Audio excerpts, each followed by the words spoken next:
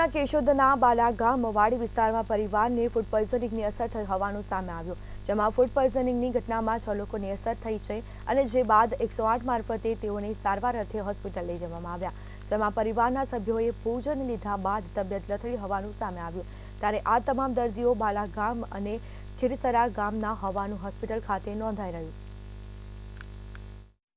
છ લોકોને એકસો આઠ મારફત કેશોદ હોસ્પિટલ ખાતે લાવવામાં આવેલા હતા. જે લોકો બપોરે એકસાથે જમેલા હતા અને જેમાંથી એને ફૂડ પોઈઝનિંગની અસર થતાં છ લોકોમાંથી ચાર લોકોને વધારે સારવાર અર્થે જુનાગઢ સિવિલ હોસ્પિટલ ખાતે રિફર કરવામાં આવેલ છે અને બે લોકો હાલ અત્યારે અહીં સારવાર હેઠળ